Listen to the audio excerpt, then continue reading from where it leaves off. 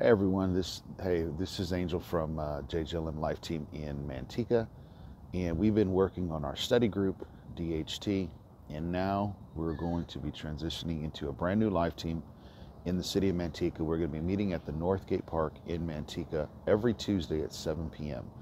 We will be going out, putting food together, and feeding the feeding those that are in need, and ministering out in public from 5 to 7 and then we're going to be meeting here and we're going to be studying ministering to those out in public. And so uh, if you get a chance uh, you know connect with us let us know. If you know somebody that's sick somebody that's in need uh, please reach out to us. We want to be able to lay hands on them. We will be here every tuesday at 7 p.m we are starting a new life team in manteca and so we want to be able to reach out to them and minister to anyone that is in need. It's a beautiful open area uh, here in Manteca at Northgate Park, and we'll be meeting here at the tables at 7 p.m. Uh, we're going to be going through the new man, and we're going to be ministering to anyone that is in need and is able to come. And if you're not able to come, let us know, and we will go to you.